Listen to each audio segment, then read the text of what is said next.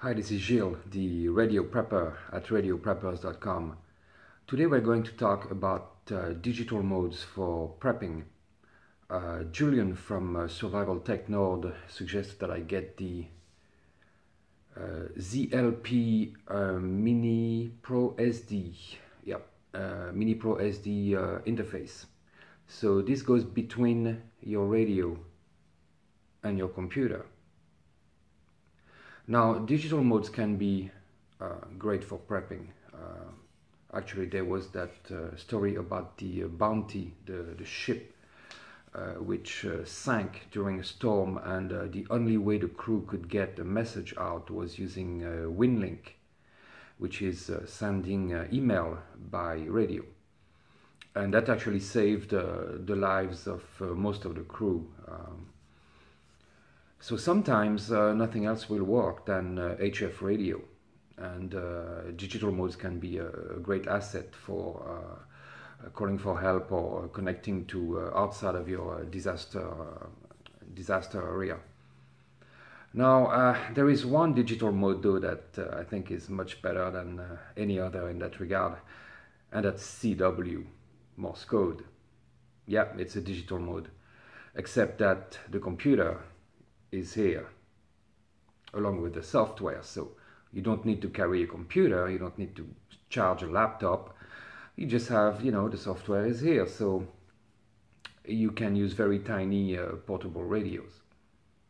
Now, of course, not everybody knows Morse code, uh, although I think that not learning it, uh, especially, uh, you know, uh, with someone with a, prepper mindset is a grave uh, mistake. It's it's extremely efficient. It's simple. It's it's elegant. it works. So, but I'm closing the parentheses here, and uh, um, so now I have the uh, ZLP uh, Mini Pro SC. only two connections in the back one for the USB cable and the other one for uh, the radio. I got a cable for my KX2 which is the same uh, for the KX3 actually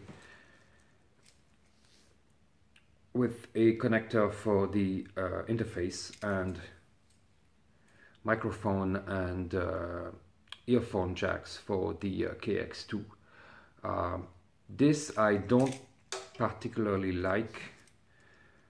Uh, it's bulky it's I don't know they could have done better with this but mm, I'm sure it's going to work just fine. I also had ordered a cable for my, uh, an open-ended cable for my uh, RT320, but uh, they forgot to put it in the box. So ZLP, you're getting an email. Anyway, uh, digital modes for prepping. Uh, um, I don't think uh, it should be your first option. Like I said, Morse code should be your first option uh, well, Morse code voice, you know, because it's simpler. You don't need a computer. You don't need to pack a computer with you. You don't have to worry about charging your uh, laptop batteries.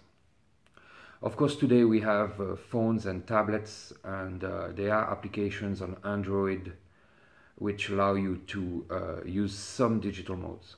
Um, unfortunately, there is no WinLink uh, application yet. I don't know if one is being uh, developed right now. I have to look into it.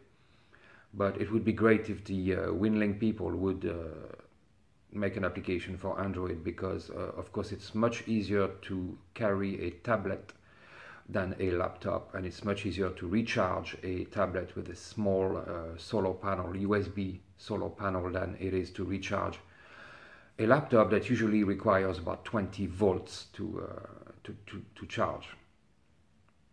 So I'm going to show you uh, uh, different modes, uh, things like, uh, you know, of course, WinLink to send email, uh, and then uh, probably we'll try PSK, PSK31 and maybe FSQ, which I haven't tried yet.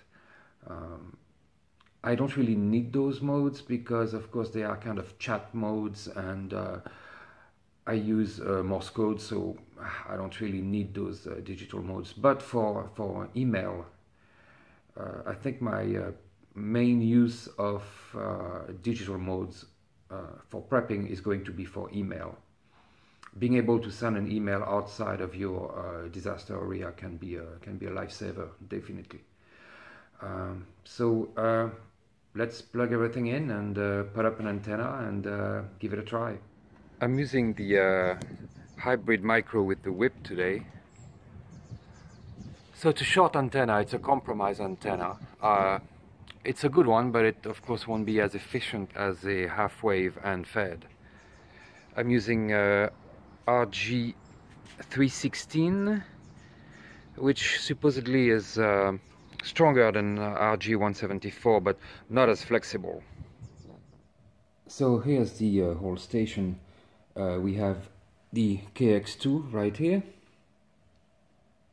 three 18650 cells to power it up the Mini Pro SC interface my laptop running Windows and I have to say I hate Windows I usually use uh, Linux for work and uh, if it wasn't for a few uh, amateur radio software I would not have Windows on my computer. But that said, WinLink uh, runs on Windows only. So, and here we have the Elecraft T1 tuner. So uh, let's start the program and see if we can make a contact, uh, actually send an email. Okay, so the first thing to do is to make sure that all the uh, database with the uh, RMS stations that I uh, have is up to date. So I started the uh, WinLink Express program. I'm now going to select here a Winmor WinLink session and I click on open session.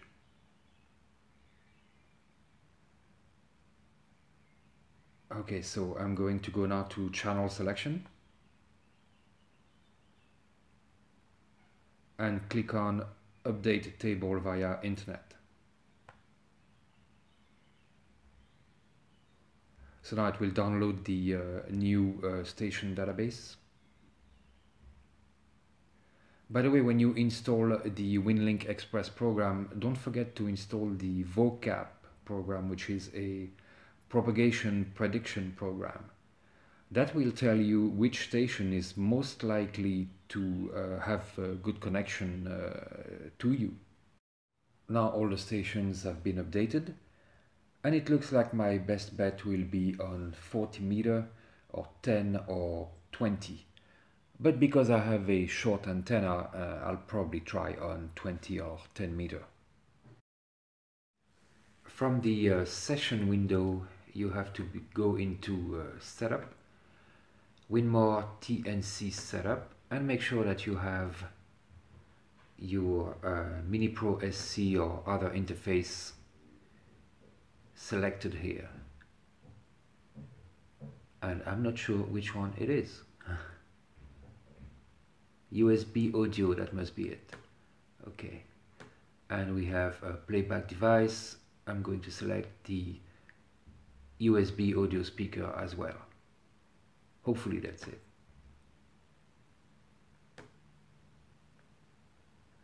Other than that, uh, yeah, make sure you have your uh, call sign set up as well. Uh, radio setup, I don't think I have to do anything in here. Manual, yes. USB, uh, yes. Uh, okay, so everything is fine here. transmit level test. Hmm.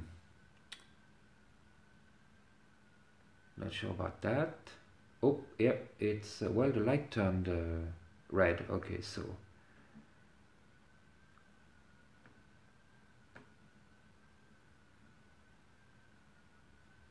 Okay, I'm to click on open session again. And I'll turn on the radio. I uh, plugged in a new station, IW2EKO, on 10135.5 let's try I know it's not busy so let's go ahead. And it's transmitting. I'll adjust the level so that let's see if we can go. It says 5 watts. Uh, it might be too much though. I'll lower it to 20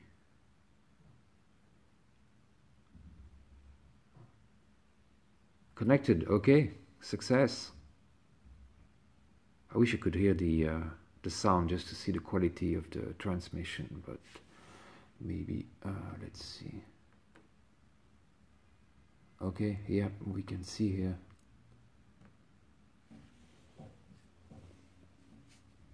All right so it is uh, working. Have a look at my uh, the temperature of the final transistor. 27 degrees that's good well we're not getting the sound. Sorry guys.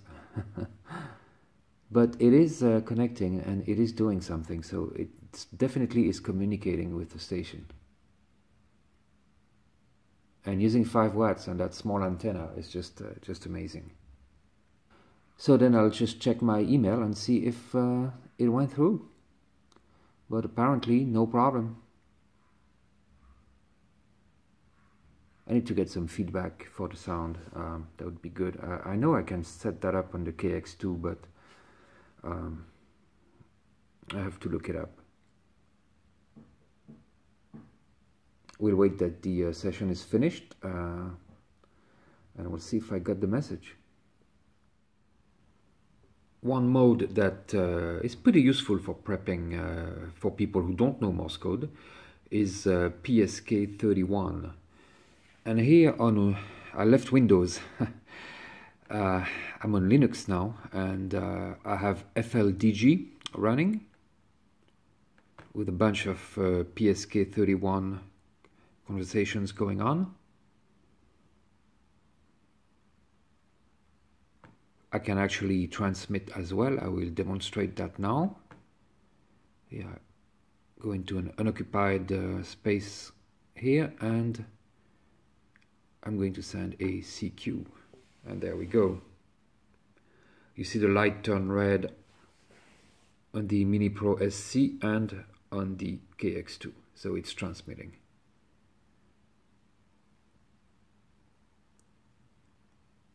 Here we get to the end of the call. And we get back to receive mode.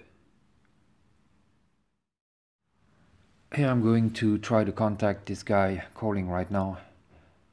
UT5XR. There we go, I'm replying.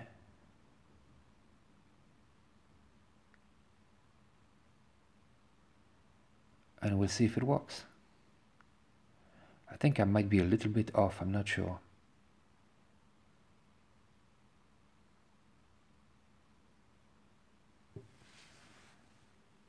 F4WBY, yes, uh, he hears me. We have a contact.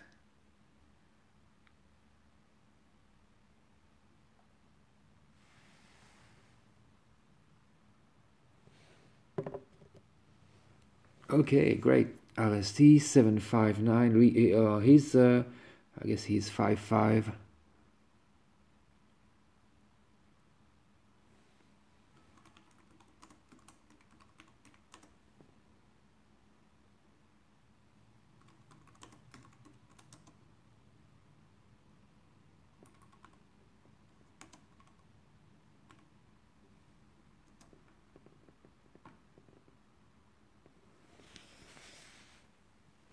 Okay so I put my information there and I'm going to transmit it if I can find how to do it.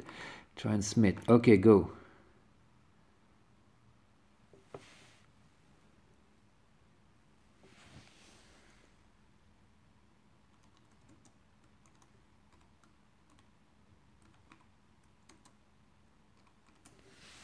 All right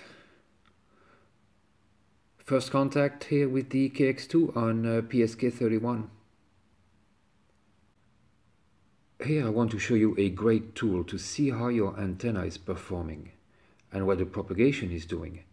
This is Whisper WSPR and it's actually getting ready to transmit. You can see the green uh, light just turned red.